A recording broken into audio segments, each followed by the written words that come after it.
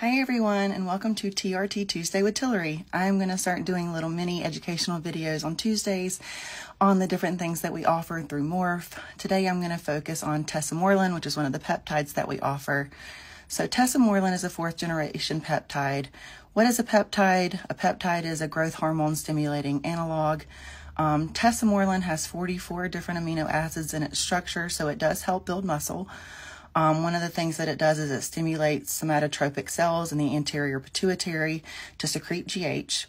Um, this increases your IGF 1 levels by an average of 181 micrograms per liter.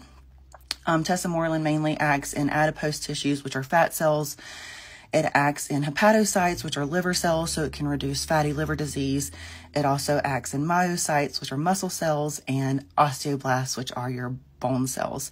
So it can increase bone density, build muscle cells, reduce fat cells, and reduce fatty liver. Um, it also can decrease the carotid intima-media thickness, which can delay carotid disease and decreases visceral adipose tissue.